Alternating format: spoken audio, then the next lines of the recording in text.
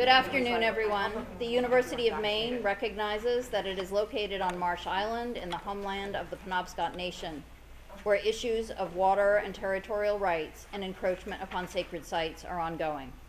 Penobscot homeland is connected to the other Wabanaki tribal nations, the Passamaquoddy, Maliseet, and Micmac, through kinship, alliances, and diplomacy. The university also recognizes that the Penobscot Nation and the other Wabanaki tribal nations are distinct, sovereign, legal, and political entities with their own powers of self governance and self determination. My name is Emily Haddad. I'm Dean of the College of Liberal Arts and Sciences, which hosts the mostly annual Maine Heritage Lecture. This lecture is the 13th in the series. The Maine Heritage Lecturer is chosen by a faculty committee from among nominations received. The 2022 lecturer, Margo Lukens, is a professor of English, and her colleague Darren Ranco, professor of anthropology and chair of Native American programs, will introduce her shortly. It is my pleasure now to welcome John Volin, Executive Vice President for Academic Affairs and Provost, who will make some welcoming remarks.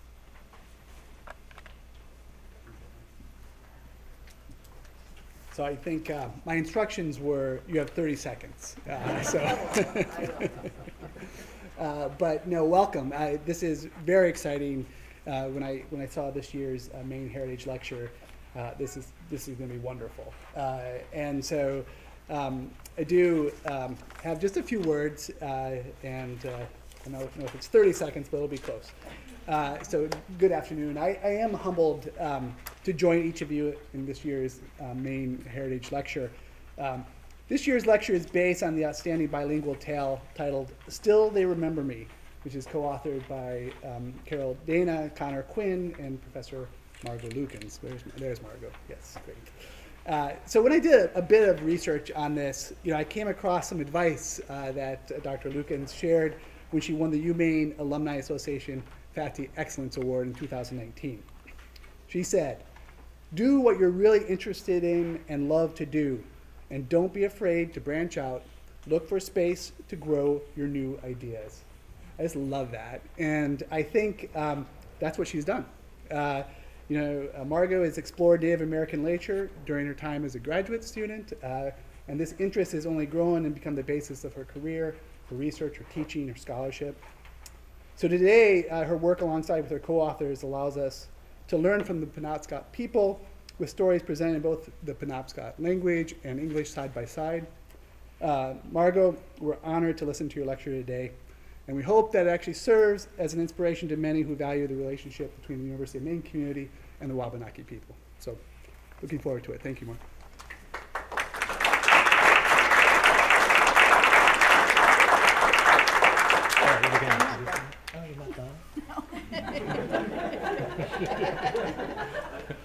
Sorry. I was trying to keep it quick. I appreciate that. Um, but I, I, wanted to say a little bit about the lecture. Um, the Maine Heritage Lecture is the only annual uh, intellectual event, not an administrative event, not an award ceremony, but the only annual intellectual event that's organized and sponsored by the Dean's Office and the College of Liberal Arts and Sciences. Its purpose is to invite a long, this is not a too long did not read kind of event, but a long, deliberate, careful look at the past. Every one of the lectures that I have attended, and this is the eighth, also narrates the past as a way to question or to reaffirm, or both, the values that guide us now and into the future. Our current time seems characterized by rancor, anxiety, and an impatience with complexity that does not serve our society well. In this moment, opportunities such as this to pause and think deeply have a special value. Like most traditions, the Maine Heritage Lecture has some ritual elements. One of these is to acknowledge by name any previous lecturers in attendance. All of their names are in your program. Since the last lecture was given, sadly, two lecturers have passed away. The inaugural, inaugural Maine Heritage Lecturer, Professor of Anthropology James Acheson, died in June of this year. And Howard Segal, Professor of History, died in November 2020, just after the last lecture was given. I will read the remaining names and invite any former lecturers who are present to stand, stay standing. We'll recognize them all at the end. Liam Riordan, Darren Ranco, Catherine Olmsted, Stephen Hornsby, Pauleena MacDougall, Carol Toner, Kristin Langellier, Richard Judd, Sanford Phippen, and Kenneth Palmer.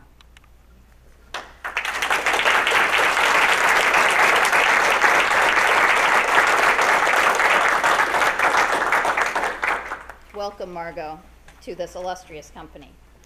I would also like to thank selection committee members, also named in your program, and the other members of the college who helped organize this event, especially Alan Adams, um, did the heavy lifting on the program. Kelly Jilks did like pretty much everything to make sure that there was actually a physical place to go, and uh, other things.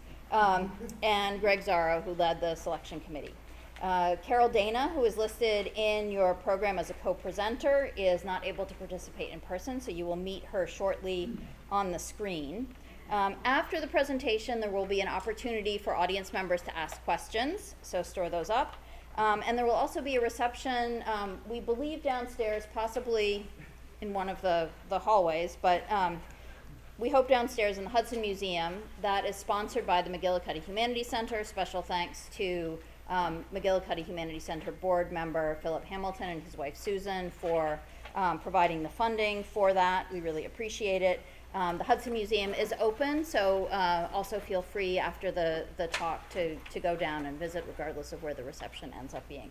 And now Darren um, has an opportunity to introduce uh, the speaker. Great. Well, I really want was excited about getting to this today, um, uh, and I'm. It's such an opportunity. I'm. Uh, I am excited about sharing this, and I want to introduce um, not only Margo, but of course uh, a couple other people. Um, Newell Lyon, whose stories um, uh, form the, the the core of our content that we'll be discussing today, uh, needs an introduction as well. Um, he without him we would not be here uh, he learned the oral tradition from his elders in in my tribe the penobscot nation and was widely considered to be a raconteur among the indians i, I think this reflects that he was uh, both considered too Maliseet or either too Italian or something to be considered an authentic uh, Penobscot person, but he was recognized as, as, as a leader in, in both story and word uh, in the community. In response to Fannie Hardy Eckstorm, who wrote her opus Old John Neptune and Other Maine Indian Shamans, uh, where she describes Newell Lyon as an unreliable source, the anthropologist Frank Speck called her out for this and saying that, in fact, Newell Lyon was far above suspicion for his integrity as a person and as an informant, which, as an anthropologist, that's the highest regard you could possibly give someone. Um, I think more importantly, as Carol Dana writes in, in, in Newell Lyon's work with anthropologist Frank Speck over 100 years ago, Newell Lyon consulted Penobscot elders to verify and enrich details to her, and she'll share this. This shows how we never operate alone, even the elders from long ago. And I think that connection is really important in this work. Um, I also want to introduce Carol. I haven't been asked to do that, but I, I feel like I should. Um, and I've done this before. I believe Carol Dana is a national treasure, um, both, and I mean that for the Penobscot Nation, but more broadly as an American treasure. She was uh, first exposed to our language at a young age. She heard Passamaquoddy spoken at her maternal grandmother's home, and her desire to learn the language was born from those first moments. As a teenager, Carol made the conscious effort to visit speaking elders to learn the language. In 1982, she began working as a research assistant to Dr. Frank Siebert. Their work together led to the creation of the Penobscot Dictionary, as did the stories shared by Newell Lyon um, in, in, uh, in the core of this work today. She achieved her master's in education, studied language immersion at St. Thomas College in New Brunswick, completed workshops at the Indigenous Language Institute, and received a cert- certificate in secondary language learning from here at the University of Maine. She's been honored at the Algonquin Language Conference with the W.E.B. Du Bois Award for Lifetime Achievement for her work with language revitalization. She has published two books of poetry, When No One Is Looking and Return to Spirit. Uh, even in retirement, she continues to teach our language widely in our community, sharing um, the, the words with people mostly online these days, but um, it's always great to see and hear her uh, teaching the language. She has uh, six children and 14 grandchildren. I want to make sure. Uh, I know many of them. Um, some amazing people there. Actually, they're probably all amazing. I think 14 is the right number. It's been a year or so since I've looked at my notes. Um, not no great grandchildren as far as I know. Um, and that's Carol Dana, and she's just such a valuable and unique person in this world. I just I'm so grateful that even virtually she's joining us today. Yeah, thank you.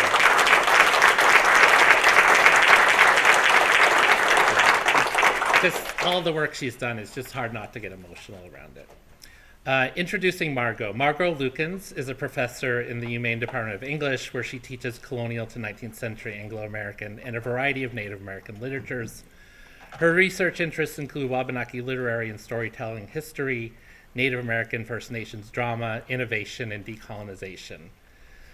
Um, she was born and raised in the Philadelphia area where her family arrived nearly 350 years ago as religious refugees. I just really wanted to mention that because you've mentioned that before, and I, that and then being educated at Harvard and doing graduate work at the University of Colorado. She taught first at Swarthmore before coming to the University of Maine in 1992. Um, she's done a lot of startup projects and one thing I really want to share about Margo personally is just like there are very few people who have the curiosity of mind and the diligent hard work to start things as broad as uh, the Orono Community Theater, Penobscot Players, the Innovative Engineering Minor and Certificates, Stillwater Community Arts Organization, True North Theater. All of these things are a collection of work in innovation and commitment to performance and literary um, traditions that are really amazing. She also has edited the uh, volume of work on the plays of William S. Yellow Robe Jr. Um, and collaborated with the late Yellow Robe on a number of publications and other theatrical productions. Um, she was the director of the, McGill- the McGillicuddy Humanities Center at UMaine for two years um, and is involved in a number of projects currently including the publication of traditional Penobscot texts for the purpose of language revitalization. She'll talk about that today. But also in the development of a Wabanaki resources portal to increase access to digitized materials on Wabanaki culture and history in support of LD 291, the state of Maine law requiring the teaching of Maine Indian history and culture to all of Maine students. Please join me in welcoming Margo Lukens.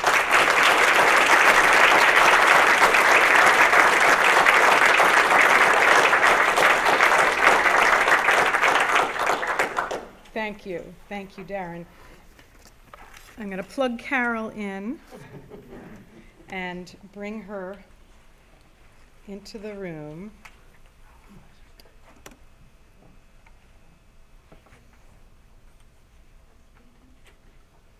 There we are. Carol, we can hear you now, I think. All right. Yes. So um, I, I'm just really grateful for Darren's introductions, and it's totally appropriate that Newell Lyon got the introduction first.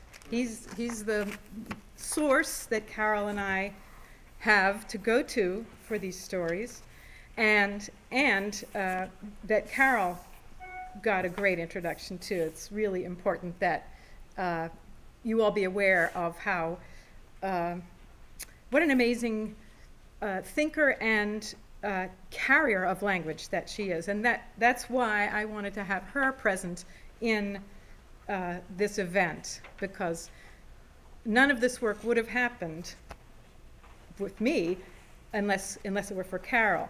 And I'll talk more about that later. So um, I want to uh, turn it over to Carol right now so she can begin with some remarks and, and she'll talk a little bit about how she began her work with the language. And um, let me know when, when you want me to step in then. Okay, thank you, Margo. I'd like to read my poem in uh, Still They Remember Me. I had written a poem about Gluskabe in 1976. It's I'm curled in darkness without form, waiting, waiting for a special dawn, to be born to a people great and good, the people of the northeast land wood. My name is Gluskabe, as the stories tell, all over our great country I did dwell. I taught Alnaba how to live in ages past, when they were so very young, their livelihood was made to last. I didn't leave a detail undone. Now I watch and wait and see how much people prolong their misery, how much we adopt foreign ways, and if you can truly forget together our days. I will return if you call my name, but slowly I hear your voices wane. Protect the people's ways, don't let them be crushed, reducing lives to misery. My spirit dwells in every creature and tree. When you address the powers, think of me. I'm curled in darkness without form, waiting, waiting for a special dawn. This is for Gosesanamak, our descendants, and Nagunsozak, our ancestors. We at Penobscot Nation look to publish the Transformer Tales because it contains the Galusawagano of our ancestors. And my interest in uh, Transformer Tales goes back to when I worked for Frank. Lester Bassett came by with the stories in a little booklet. And uh, they were Transformer Tales. As we know, I'm from Frank Speck and Newell Lyon. And I had lent one to my cousin who was uh, working in uh, Indian Island School at the time, Barry Dana. And uh, I think James had made copies of them at, with red covers at the Indian Island Museum. So they've been there and I've been aware of them. Uh, in 82, I worked for Frank and I took my knowledge of language that I heard and I applied it to the written system and I found it to be true. And somehow I got to reading the language and uh, I'll talk a little bit about my uh, journey into that. I left uh, Frank and the tribe in 1985 because I wanted to go to college, because I wanted to teach Penobscot. And uh, we had worked with Madeline Shea at the time too. Uh, and I was hired as a teacher aide for a number of years at the Indian Island School, even though I had a degree. And in 1996, I started teaching the language, only a couple days, 20 minutes, a half hour a week, and it really wasn't enough. But what I did at the time was plays in early childhood. Uh, I was amazed that the kids uh, did the plays, you know, they, we didn't do them in the language then, but we did them in English. And then we had Indian Day there. And uh, the eighth graders, I didn't teach them to read the language either, but I would make them cue cards and then I'd hold them up and they'd read it. You know, they, they wanted to remember what their lines were. So we had done that and uh, in, when I was in college, I worked with uh, Chris Mans for a while because I always thought we're in this predicament where our native language, our mother tongue is our second language. So maybe second language learning methods would help us. So uh, him and I talked. In fact, I finished a course uh, in second language acquisition, I believe, because I was interested in the methodology. And he brought Stephen Krashen to campus. And Stephen Krashen said, if you can read in the language, you can speak it. And I pinned a lot of my hopes on that because I could read uh, I can read in the language. You know, when I can speak it, I can't uh, move right along in it. I haven't been tested, you know, that much, but uh, I have a good working knowledge of it. And someone asked me one day, how do you get to do that? So I came home and I'm sitting in my easy chair thinking, well, I've only been in it 52 years. That's how I got to do it. Uh, I want to mention my friend Sipsis. Her and I spoke a lot about the culture and the stories. And I tell her a story, and next thing you know, she'd be doing a puppet play in it, you know. And she was a great advocate of our ways and our stories. And I got permission from her to be able to retell the stories too. Uh, I also went to St. Thomas College sponsored immersion uh, teaching in uh, St. Mary's, what they call Sidansk, in, across the river from Fredericton. And she said, story is the basket in which our language is, is carried. And that just stayed with me, you know, because uh, one of my stories, one of my favorite ones is about the uh, medallion at Pushaw. And they're testing each other's powers. Well, not testing each other, but uh, showing each other their powers. So when they're about to be defeated, they change to an animal. So they're jumping in the water, turning around and coming out, you know, uh, Musquasso, Tamaqua, Madawila, Musabasso, uh, different animals. And I use that story with the children, but what I like about it's cyclical, so you hear these words over and over, and uh, you know what they mean. You know, when Chris told me, tell a story in English first, that puts down a layer of meaning, and then tell it in the Penobscot, because they already know what's going on in the story. So uh, pictures help. I had some other ideas. Uh, we wanted to talk about how the transformer tales and these stories bring language to us. And my own process is, uh, and I think Sylvia Warner, Ashton Warner or Weaver talked about this, when you have an emotional attachment to a word, uh, you learn it more. Like on one, uh, Huska was always going off somewhere doing something that, a mission that grandma uh, sent him on, and uh, he tells her one day, Musa Sahigach, don't worry, you know. And I love that, that stayed with me. So Margo tells me that often. and I love hearing that, you know, someone saying, Musa Sahigach, you know, it's like, all right. so Linda, oh yeah, uh, talk about the plays at Penobscot Theater.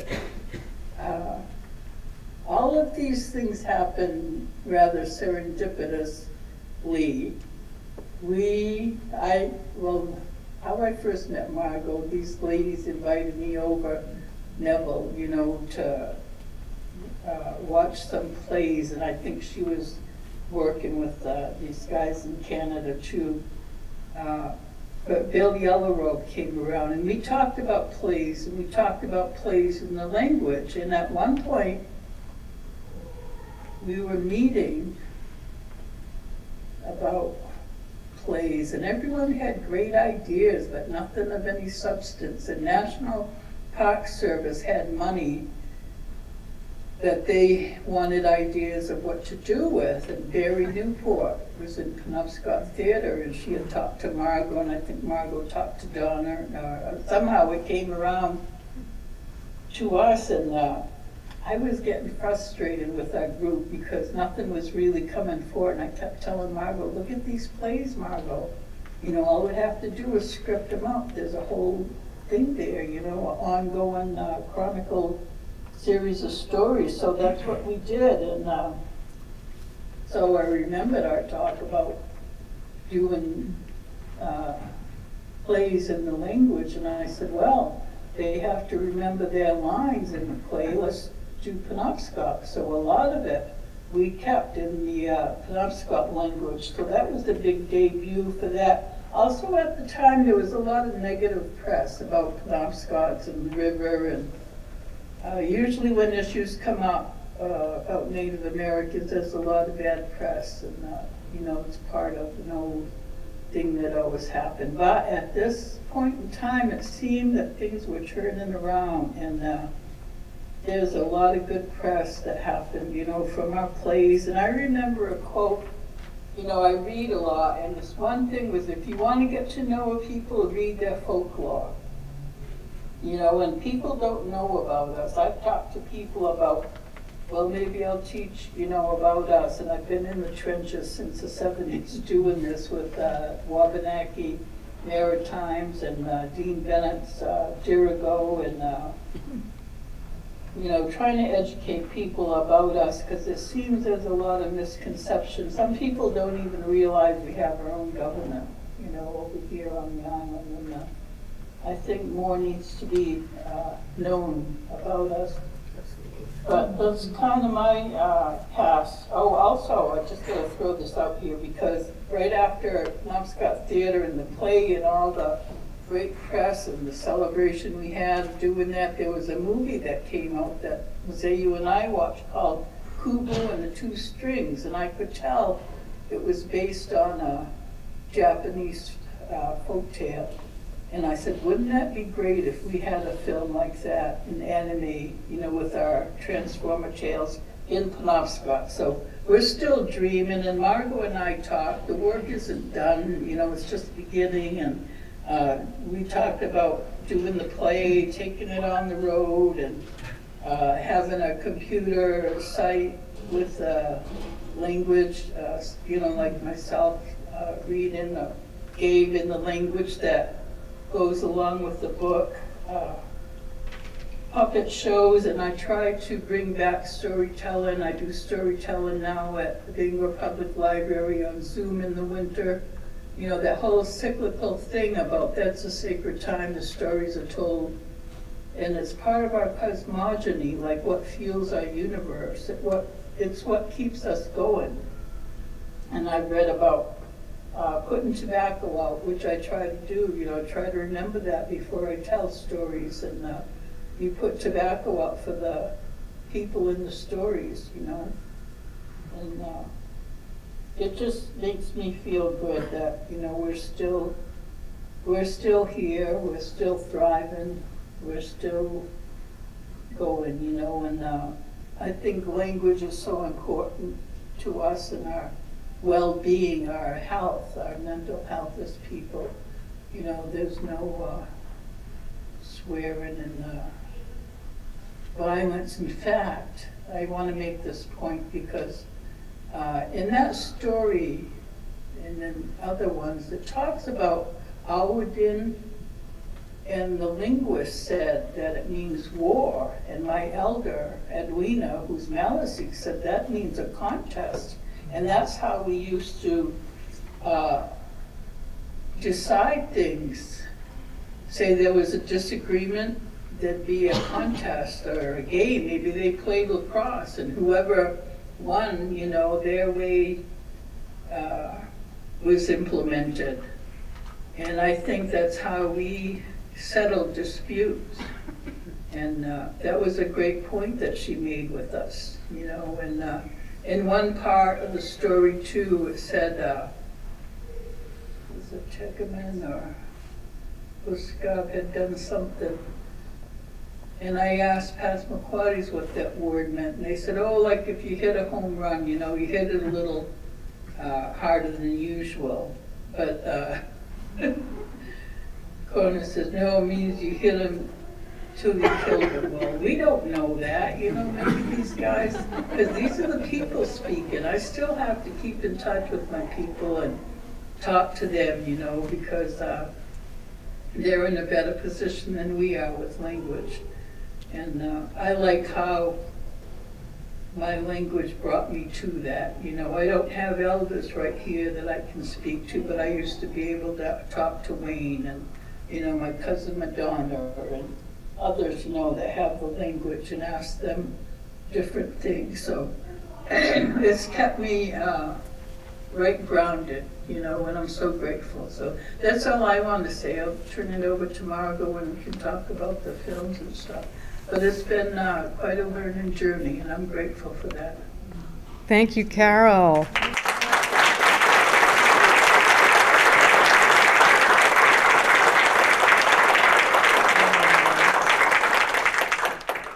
All right, now, so as I said I would do, I'm going to shrink Zoom and bring up this slideshow, which you set us up for so well. Um, and I'm going to um, uh, touch on a lot of the things that Carol has mentioned and um, follow them up. So, oops, how do I get?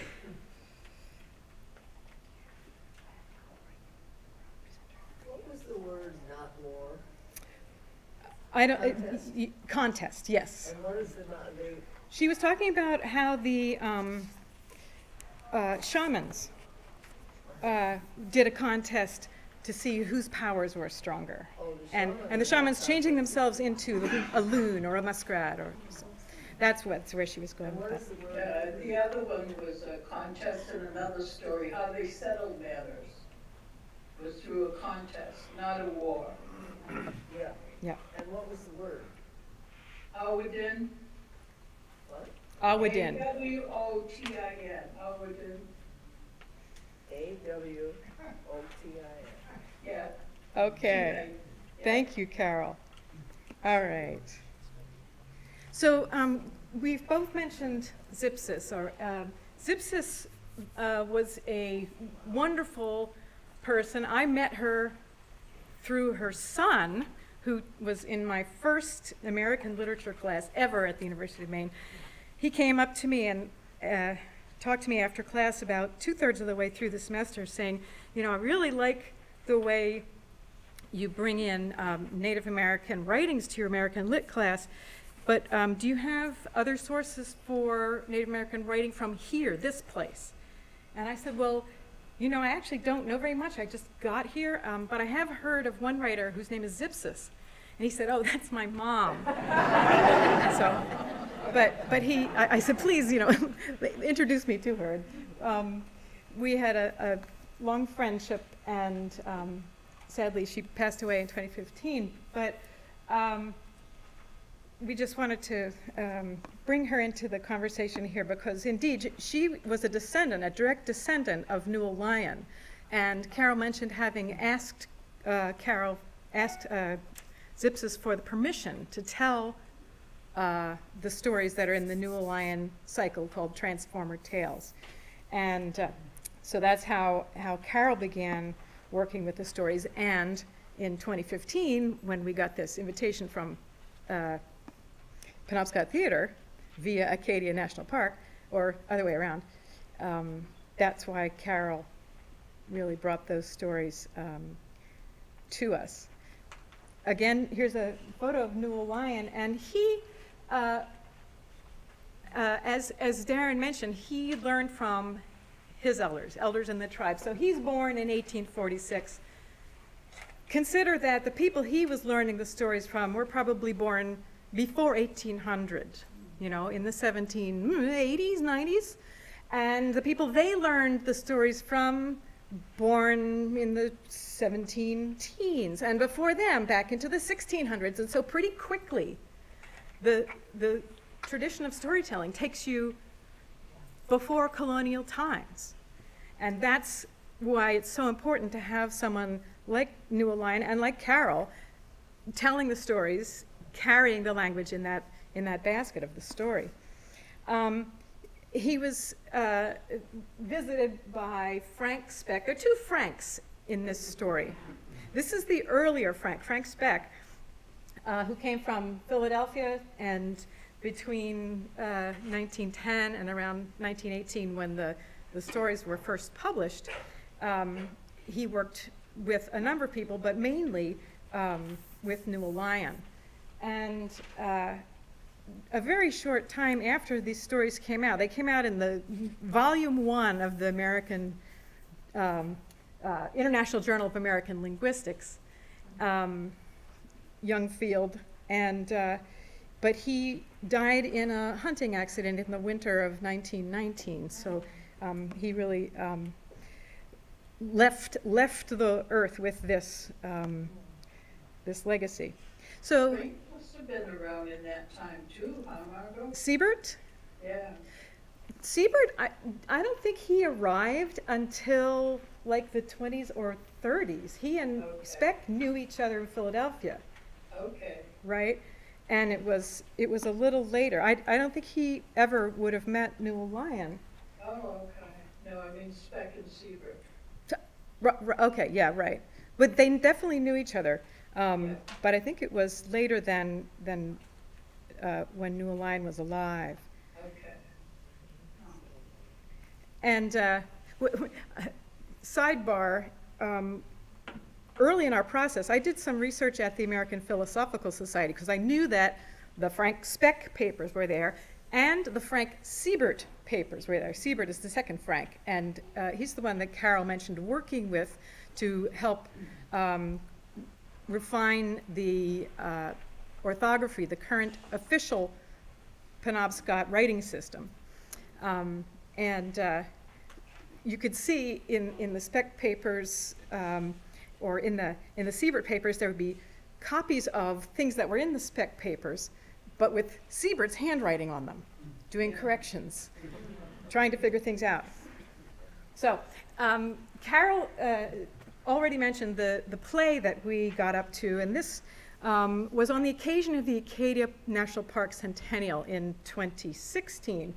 Um, they had come to Penobscot Theater and said, is there anything on your schedule that would be appropriate to the centennial? And um, the theater's uh, artistic director said, let me ask some people. And she was very interested in finding out why is Penobscot Theater named that and what does it mean? She was not from here. She was um, curious and uh, began thinking about that. She contacted Donna Loring. Donna Loring said, talk to Margo. She's done community theater with a lot of people. So, um, and, and eventually, uh, we ended up at my house around the dinner table, about eight people from Penobscot Nation and me, and, and Carol, as she said, uh, you know, bringing out the old 1918 photocopies of, of the Transformer Tales when we got, you know, uh, a lot of pie in the sky ideas.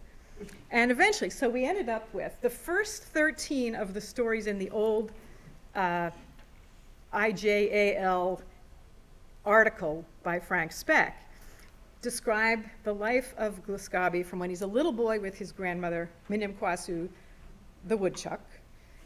And it goes all the way until he has, has changed the landscape. He's, he's interacted with uh, animals and forces of nature and made this part of the world sustainable for life by his descendants.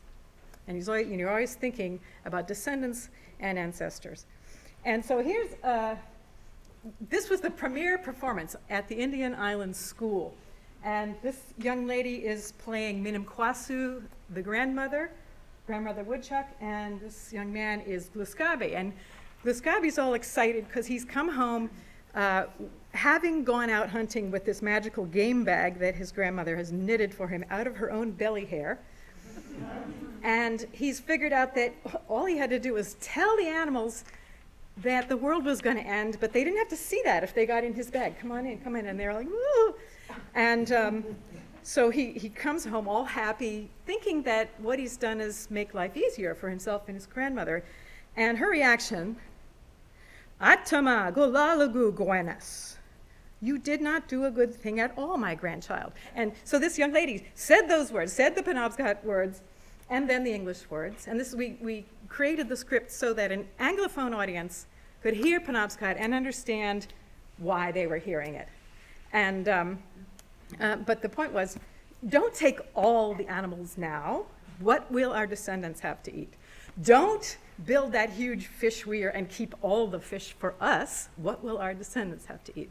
He has to learn the lesson more than once. Um, but it's, it's a, a lovely uh, relationship, and she's, she's the source of the wisdom that he learns. Um, here's a, another uh, picture of this is at the Penobscot Theater. This is where we get all the bells and whistles of Penobscot Theater productions. And uh, there, there's the giant frog, Aglubemu. There are two people inside that frog costume. And uh, this is Gluskabe. We, we had many Gluskabes in, in this production. And the, the frog is holding back all the water, and the people are dying of thirst. So Gluskabe tries to reason with the frog, tries to wrestle with the frog, tries to break the frog's back, but finally has to fell a tree onto the frog, and um, out of the frog comes the Penobscot River. And all of the, the branches of the river, uh, the whole, you know, Penobscot watershed, and these thirsty people all dive in and just slake their thirst and swim, and some of them get out and continue being people, and some of them turn into fish or turtles or other water creatures, salamanders and dragonflies even. And um, out of that story comes the knowledge that the clan names of Penobscot people are from that moment. Clan names are uh, the names of animals from the river, and that the Penobscot people have a time immemorial relationship to the, not only the river, but to the creatures in it, and it's a family relationship. These are mothers, fathers, aunts, uncles, children.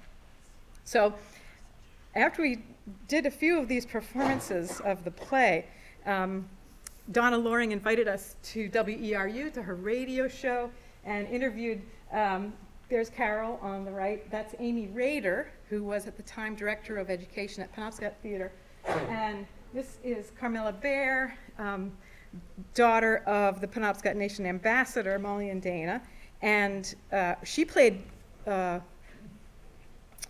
I think she played Gluskabe in a few scenes, and she also played an amazing character named Bukchin Squasu. She did an amazing job with that. But so we did this interview, and you can listen to it. It's archived uh, uh, at WRU.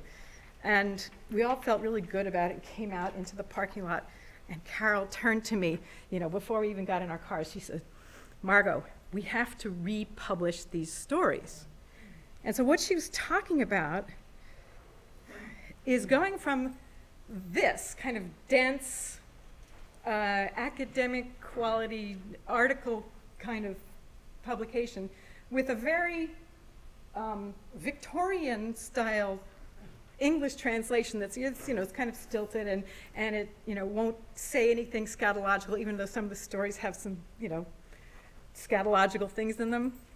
Um, and here, the uh, the presentation of the language, um, I'll read you just a little bit. So this, this is from the first story where Gluskabe, as a little boy, is learning how to hunt, how to shoot a bow and arrows, and he's gone out and gotten a few things, and he comes home this time. Gudilan, buenas, kichiawas, nechlad, awesus, nagasivi nigub, galauzenena, mzelpami, gulich mui bibina. And what she's saying is, grandson, a great beast you have killed, a bear. And indeed, now we shall live well. There is abundant fat. That's Frank Speck's choice. And you did well. We shall live richly. So, you know, um, not designed particularly with a language learning audience in mind, much more designed with a, a, an ethnolinguist audience. Okay? So, Carol and I, when, when, she said this to me over the, you know, the top of my car, um, I said, this is very good timing. I have a sabbatical now. I've told them I'm going to do something else, but, but this is more important. So we got to work, and uh, you've seen this picture on the on the postcards of, of this lecture. But we did a lot of our initial meetings at um, Tim Hortons, which is no longer open, but we loved we loved going there. Um, and I did a lot of work um, uh, exploring and finding original documents at the American Philosophical Society I mentioned, and this piece of handwritten field notes is at Cornell in their rare manuscripts library. And uh, right here in the middle is that moment where Minim Kwasu, the grandmother, is scolding Gluskabe for taking all the game animals. Atama, Kulalagu, Kuenas. And, and so it was very exciting to see, you know, this is the first time it was written down.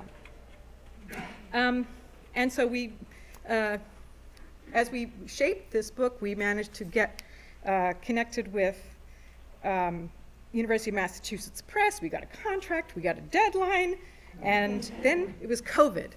And this was ironic, but even though, I mean, Carol is in Indian Island, I'm here, Conor Quinn, the linguist that we worked with, is in Portland. We were, we were separated, but we were together because we had Zoom. And suddenly, um, Zoom became the tool by which we managed to do the, the, the copy editing work and the, the, you know, the final manuscript work. And um, what we got to, if you hadn't seen the book yet, um, uh, this is not very well focused, but anyway, this is Penobscot on this side, um, and each of these lines is, a, is a, either a big phrase or a sentence, and across the page is the English, and we've updated the English translation so that the English words follow as closely as possible what the Penobscot words are doing. And below each uh, of these bigger sentence groups are individual words translated literally across the page.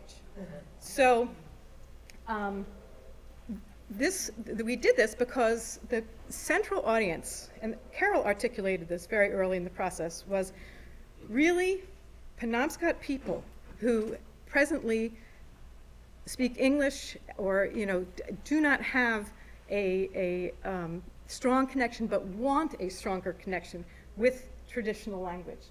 And so this construction of, of the book and the purpose of the book really is to um, invite that central audience back to their patrimony, their traditional language.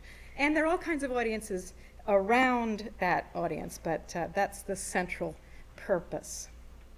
Um, so here, here's an example of how this book might be used and might help bring people together. Um, so in the fifth story, and here's a scene from Penobscot Theater. Gluskabe is in his canoe, and he has pushed it out and seen that it, it, uh, it's a very good canoe. He, all he has to do is push once with his foot, and it goes three looks as far as you can see is one look. So three looks in one push. Um, but the story, the purpose of his, you know, needing a good canoe is so he can go to the island where uh, Grasshopper lives, because Grasshopper's been um, hoarding all the tobacco. And the grandmother, Minim Kwasu, has said to Gluskabe, we need tobacco. We, you know, we need it for ceremonial purposes here. And uh, so Gluskabe goes out after that. And um, being able to think about the language and think about what the words might mean as far as um, traditional morality and values of a community is really important. So here's, here's a, a word, Saginagbuzu. He or she is stingy, or literally is difficult. And the, the, the quality of stinginess really creates an obstacle for other people, creates difficulty, and, and especially in the story. Then this other word, Gizolaman, I make it possible for her or him by my heart or my mind. And Gluskabe is always making things possible with his mind. Um, he, he makes what uh, Carol refers to as a shaman's wish sometimes, or sings, sings his purpose, and it happens. But uh, the idea of sharing, the opposite of, of being stingy, and, and the act that, that uh, Gluskabe is going to do in this story, um, really makes things possible for other people as opposed to obstructing. So uh, we were very fortunate, and you know the window apparently was was wide open um, for support of this project, and um, we uh, got, got a grant for this book that included enough money to purchase a copy of it for every Penobscot household. Now, uh, little did I know at the time of, of, of writing the grant that, okay, you can give one to every home on Indian Island, but there are plenty of Penobscot households, you know, out in the big world, and there's not a list uh, or not a list that's accessible to an outsider. So um, little by little, uh, people are getting their copies, and that's. I still have a pile of money, and I'm waiting for Penobscot people to tell me how to how to send it to them. Um, so I have to do some more work on that. But you know, these are the other kinds of audiences that Carol and I have talked to. Carol and Conor Quinn and I, all three. Um, other readers from other indigenous communities have been interested in this bilingual presentation and in the content of the stories. Early childhood educators uh, we're really hoping that there will be uptake in Maine K-12 schools. And um, I had a grad student uh, a year and a half ago who was already an English teacher, a ninth grade teacher, and he- for his final project, he did um, a, like a three-week lesson plan that used English language arts standards that are articulated for Maine schools and applied those standards to lessons about a couple of the stories in this book and some contemporary Wabanaki poetry. It was, it was a lovely thing. And um, uh, I, I took him with me to a, a conference for K-12 educators and had him talk about it there. Um, any Maine citizen uh, who wants to know more about Penobscot Nation and Penobscot um, philosophy, values, persistence, faith communities, conservation communities. Um, we've, we've already had uh, other scholars of indigenous literatures use the book in, um, in college classes, and of course, um, linguists. Conor Quinn uh, is an amazing linguist, and he's pretty much the only guy around who specializes in Penobscot. And uh, there's a big, juicy section of special linguistics notes in, in the back. We call it technical notes on the Newell Lyon text. And there's, a- there's about uh, 50 pages of that. Um, there are some cultural notes on each story, but we didn't want to burden the casual reader or the, the young reader with, with all that juicy um, linguistic stuff. But um, so uh, I think I'm coming to the end of my remarks, and Carol and I, I'm sure, have lots more to say, and, and I'll bring her back so we can uh, engage you in Q&A.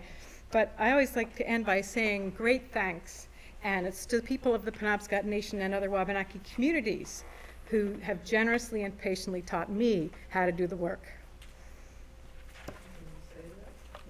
Pardon? Uh, Kachi Wiliwini. Kachi Wiliwini. Great thanks. And I also like to leave my, my audiences with a place to do a little research if, you're, if you care about what's going on today with Wabanaki communities and purposes and politics. Go to the WabanakiAlliance.com and there's, there are a lot of ways you can um, learn about current legislation and reasons for it and, and history as well. So um, with that, um, I'm going to uh, end the slideshow and bring Carol back for the Q&A, but thank you very much.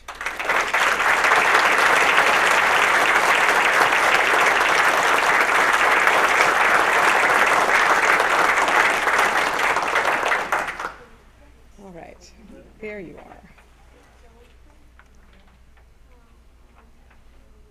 All right, Carol, can you hear us? Sure. All right, here we are. So it's time for Q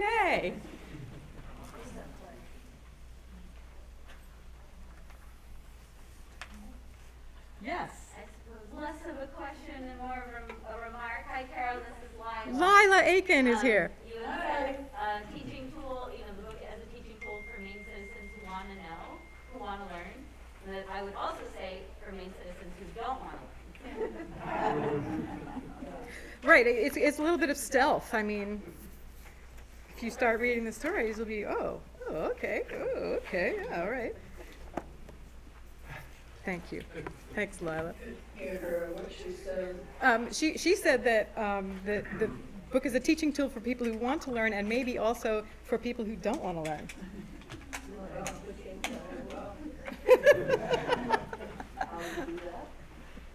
Uh, certainly, the plays were, were that kind of a teaching tool. Carol mentioned that. Um, the script that we wrote uh, in 2015 and 2016 for, for the production of Transformer Tales at, at um, Penobscot Theater and other places belongs to the Penobscot Nation. And that's what Carol is talking about. You know, wouldn't it be great to create a, um, um, an on-the-road version of that? And we've sometimes talked about um, creating teaching tools so that we could send lessons to schools in advance and take the, you know, have, have teachers have the kids do pre-work, whether it's, you know, creating costumes or um, scenery or, you know, learning a few Penobscot words and phrases so they could be, you know, extras in the, in the river scene. Um, but that's one of our future projects. Carol also mentioned um, uh, Kubu and the Two Strings and the idea of, of animating or of putting, putting the stories into, into film.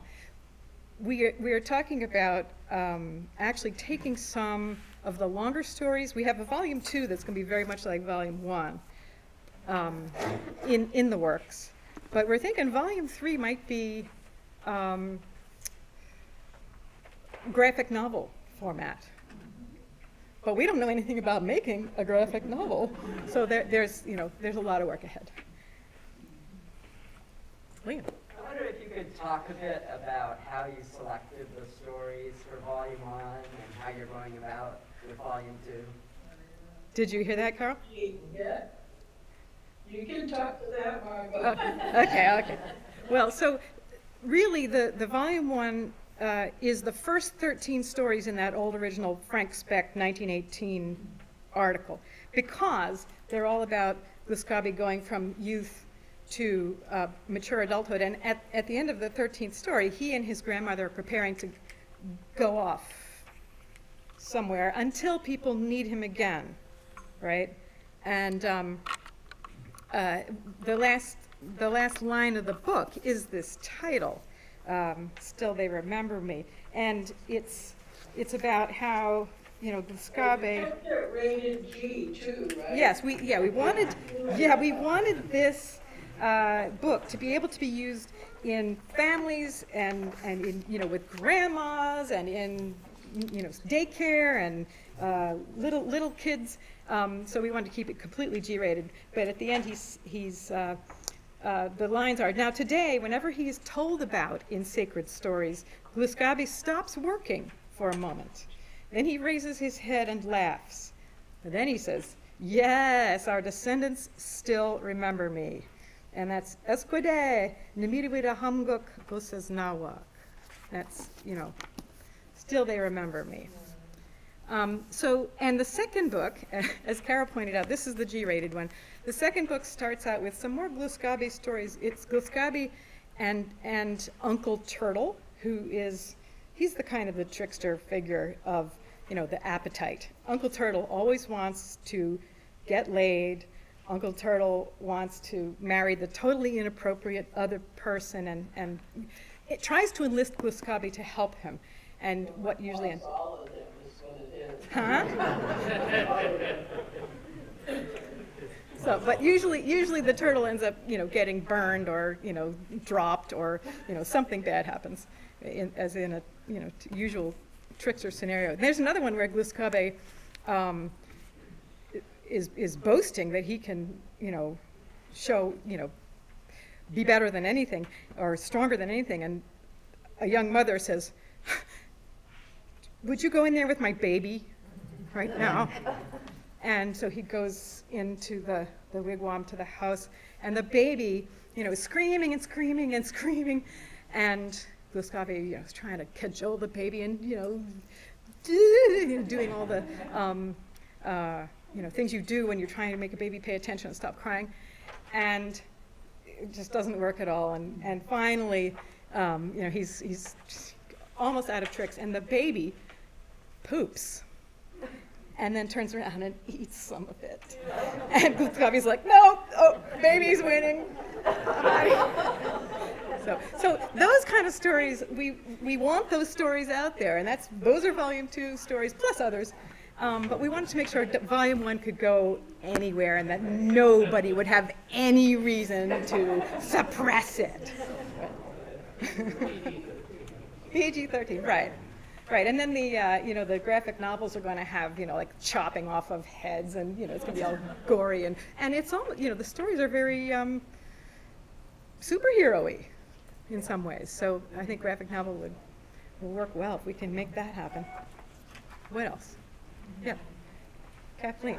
Um, was there originally a different alphabet for Penobscot, or was it only a spoken language earlier? I mean, you sort of transliterated it into our alphabet. Uh, I didn't do that. Right, no, but I mean, uh, the current, present day. I just wondered if there was some other alphabet way back, some some other I writing can't hear what she said. She's asking whether Penobscot had an alphabetic writing system before, say, Frank Speck. And the answer is no, right?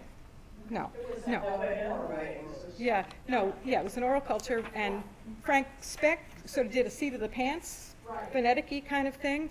But then when the other Frank came to Indian Island, Frank Siebert, um, he- he, you know, figured out uh, um, a better, um, he had better grasp on the grammar by the time he finished. He spent longer with, with Penobscot language than, than Speck ever did. I found a word though, somebody lately had been asking about abba.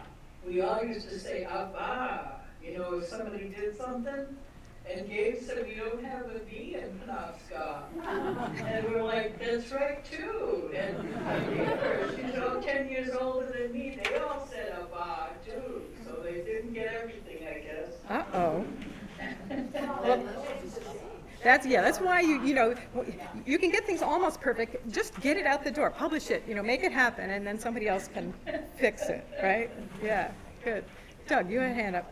Yeah, I'm noticing the definitions, um, like stingy, for example, uh, translates into, stingy could be an adjective or a noun, right?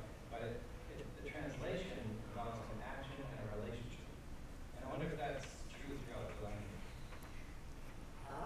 Yeah, that's a good question. Carol, did you hear Doug?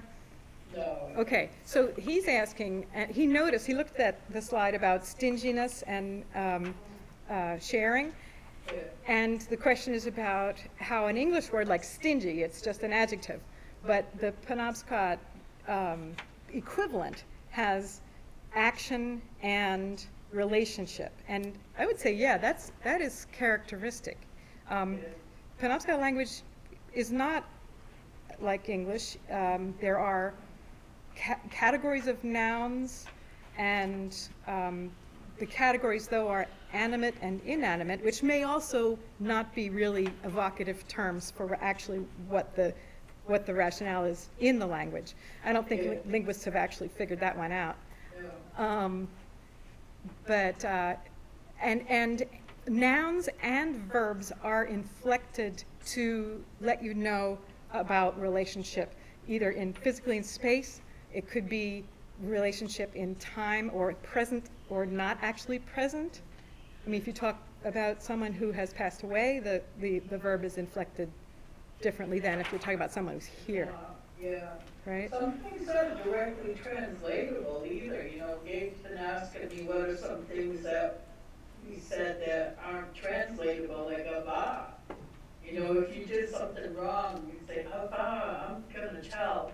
Like, we all knew what it meant, but you can't really translate it into certain words, you know, but we know what it is, like kadali or. Kadali, you know, or eosis or something like that, you know. Right, right, right. There, there are also, I mean, there's also really interesting things in Wabanaki languages.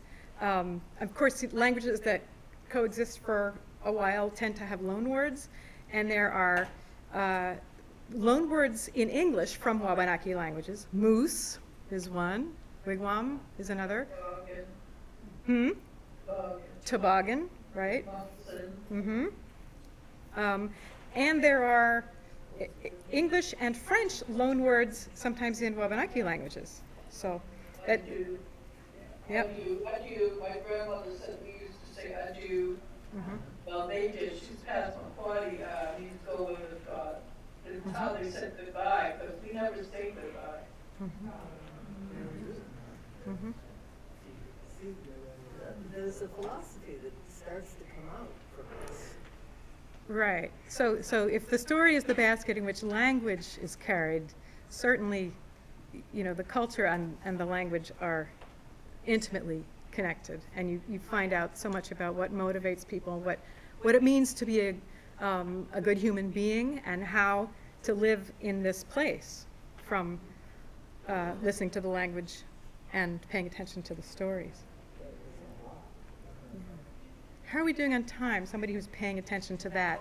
It's a little after four, so maybe one or two more questions. We have one more ceremonial feature. Oh, a ceremonial feature. Okay, one or two more questions um, from people who haven't had a chance. I'm going to go to Sarah and then to Naomi.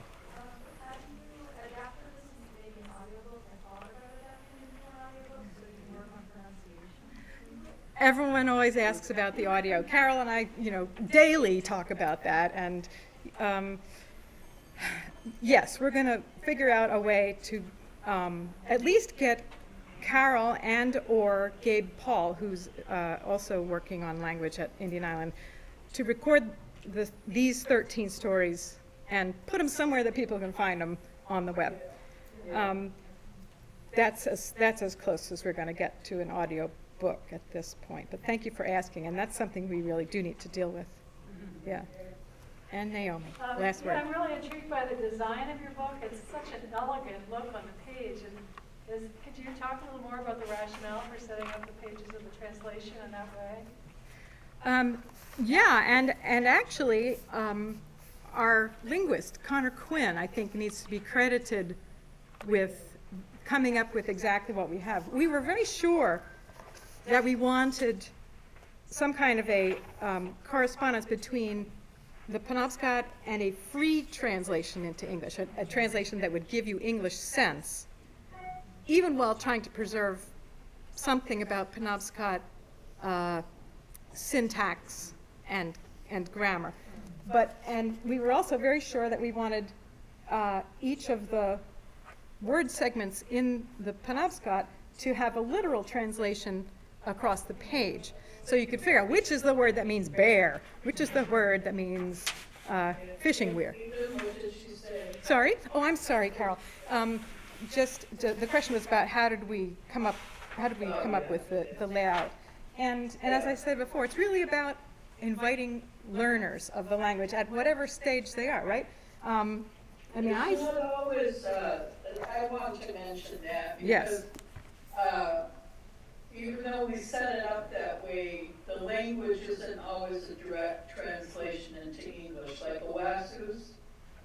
Yeah, Wasus is what we call a bear, but we're saying the one who roams. You know, our language is like little picture poems, like a Jasantigwe is a dragonfly, but you're actually saying one who's painted many colors. So it's Right. Very poetic and, you know, gives a picture, it's very descriptive, right, like agitaweptawos. yeah. That, that's the word for, um, what's the, what's the English word? Nuthatch, yeah. And it means, yeah, he walks upside down. So that's, that's the, that's the end of the Q and A, and I want to thank Carol again for being with us.